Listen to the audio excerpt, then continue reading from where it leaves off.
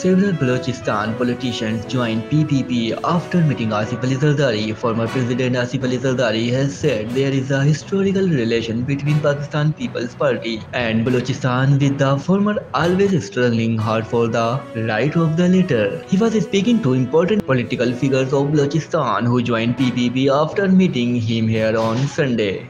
Those who joined PPP included former Federal Minister Sardar Fateh Muhammad, former Provincial Ministers Nawabzada Ghazin Marri and Tahir Mahmood coordinator to chief minister Balochistan Nawabzada Jamal Raisani, mister Farid Raisani. Mir Abdullah Raja and Mir Allah Baksh Ryan. Congratulations, the newly joined party members Asif Ali Zardari said that PPP was the strongest actor in the politics of Balochistan and it would never compromise on the right of the people of Balochistan. The PPP co-chairman said that his party is a strong part of the politics in the province, adding that the PPP will never compromise on its struggle for the right of the people of Balochistan. On January 1st, a number of leaders of the Balochistan Awami Party joined the PPP, parting with the ruling party in the province.